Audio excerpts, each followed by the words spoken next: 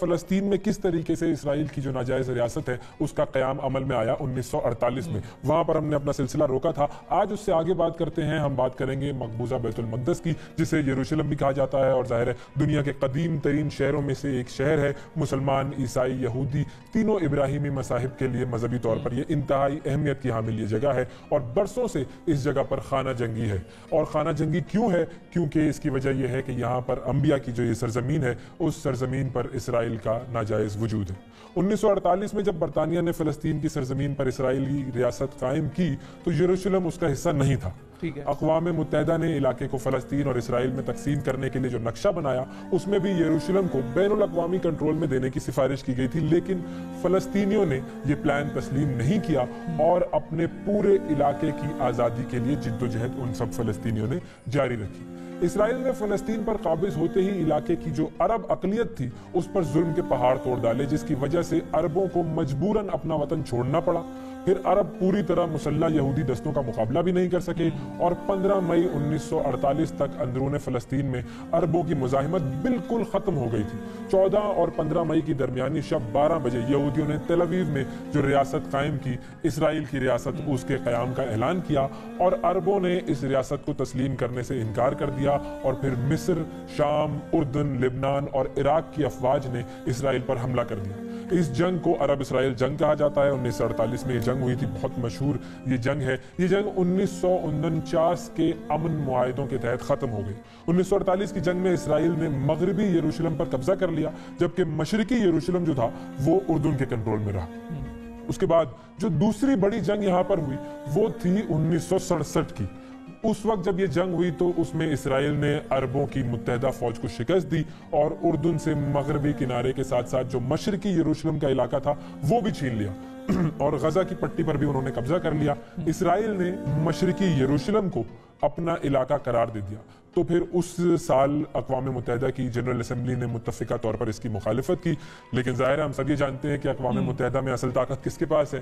تو یہ سب کو پتا ہے تو اسی لیے اگر اتنی مخالفت کرنی ہوتی تو پچھلے سال کیا یونائٹڈ سٹیٹس جو ہے وہ اپنا ٹیل اویو سے اٹھا کر اپنا یروشلم شفٹ کرتا اپنا جو ان کی ایمبیسی ہے جو بھی ہم اس کو کہیں گے۔ انہوں نے تو اسرائیل کے دارالحکومت تصور کر لیا بالکل دارالحکومت تصور کر کے اپنی ایمبیسی کو وہ لے گئے ہیں ٹیل اویو سے یروشلم۔ تو یہ بہت بڑی چیز ہے جو انہوں نے کی ہے۔ تو اس کے بعد ہوا یہ کہ جب اقوام متحدہ نے مخالفت کی لیکن اسرائیل تو ظاہر ہے اس کا جو ہمیشہ سے رویہ رہا ہے کہ وہ کسی کی نہیں سنتا۔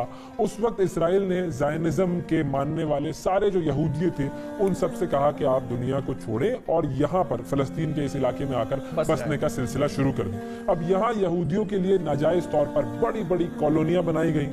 ان نجائز بستیوں کے خلاف کئی ممالک نے آواز تو بلند کی، مگر اسرائیل اور اس کے جو حامی ہیں، انہوں نے کسی کی بھی نہ سنی۔ ایک طرف ان کالونیوں میں دنیا کی ہر سہولت موجود ہے، لیکن انہی کالونیوں کے باہر جہاں پر فلسطینی باشندے رہتے ہیں، وہاں سے اسرائیل ہر انسان کو اور ہر سہولت کا خاتمہ کرنے پر تلا ہوا ہے۔ فلسطینیوں کی نسل کشی کا نسل کشی کا جو سلسلہ ہے وہ آج بھی جاری ہے اور اس نسل کشی میں جس طرح بزرگوں جوانوں عورتوں بچوں کو قتل کیا جا رہا ہے اس کی مثال نہیں ملتی۔ اور پھر اس نسل کشی میں جس طرح دنیا میں انصاف کے اور امن کے جو پیامبر ہیں جو ٹھیکے دار ہیں نا انصاف کے وہ جس طریقے سے آنکھیں بند کر کے بیٹھے ہوئے ہیں اس کی مثال ملنا بھی ناممکن ہے۔ ظالم اسرائیلی جو فوجی ہیں ان پر پتھر پھینکنے والے فلسطینیوں کو جواب ملتا ہے گولیوں سے بموں سے بارود سے اور جب ان معصوموں کی لاشیں ان کے گھر واپس پہنچتی ہیں تو ہر آنکھ نم ہوتی ہے سوائے ان آنکھوں کے جو اسرائیل کے اس ظلم میں برابر کے حصے دار ہیں۔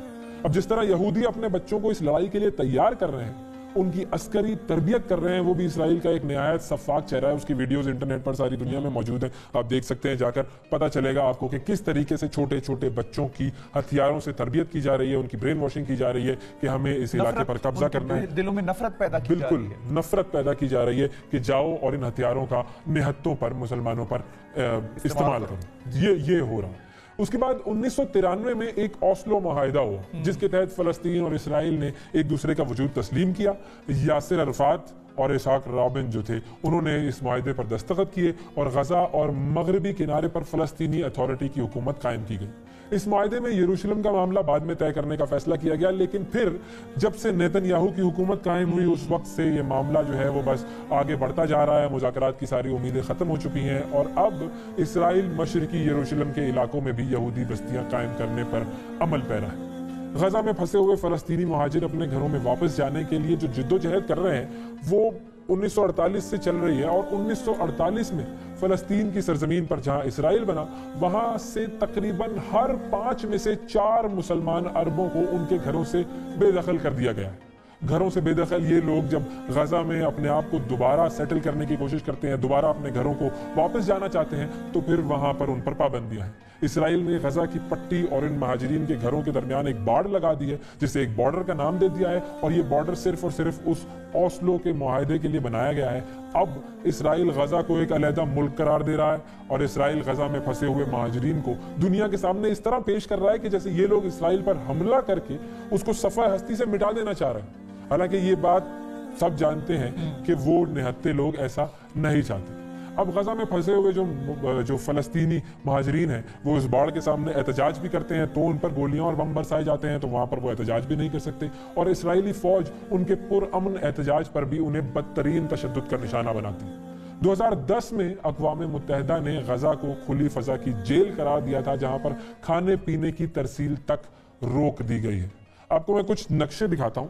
جس سے آپ کو یہ اندازہ ہوگا کہ اس خطے میں یہودی جس طریقے سے آکے بسے ہیں تو وہاں پر ان کی پاپولیشن میں کتنا اضافہ ہوا ہے۔ اگر آپ پہلا یہ نقشہ دیکھیں یہ انیس سو سترہ سے لے کے انیس سو انتالیس تک کا یہ نقشہ ہے۔ اس میں جو یہ ڈاک آپ کو ایریا نظر آ رہا ہے یہ ہے وہاں پر یہودوں کی آبادی۔ اور باقی جو سفید ایریا ہے یہ آپ کو نظر آ رہا ہے کہ وہاں پر جو عرب وہاں پر مسلمان جو رہتے تھے۔ اس کے بعد جو اگلا نقشہ ہے وہ دکھائیں جی۔ اس میں آپ کو پتہ چلے گا کہ یہاں پر انیس سو انتالیس سے لے کے انیس سو پینتالیس تک یہودی یہودیوں کی تعداد تھوڑی سی بڑھ رہی ہے۔ اس کے بعد ہم مزید آگے بڑھتے ہیں۔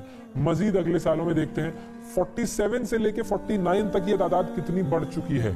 یہودی اس علاقے میں آتے جا رہے ہیں آباد ہوتے جا رہے ہیں مظالم کا سلسلہ بڑھتا جا رہا ہے۔ اگلا نقشہ دکھائی اگلے نقشے میں آپ کو مزید تبدیلی نظر آئے گی۔ اور یہ دیکھیں یہ 1967 سے لے کے 1993 تک کا معاملہ ہے۔ اس میں مکمل طور پر یہ ڈارک ہو چکا ہے ایریا کچھ گرے ایریاز ہیں جہاں پر ابھی بھی مسلمانوں کی آبادی موجود ہے تھوڑی بہت تعداد موجود ہے۔ اور یہاں پر جو کشیدگی ہے یہ مکمل طور پر چل رہی ہے۔ آگے دکھائیے اگلا نقشہ دکھائیے۔ بالکل۔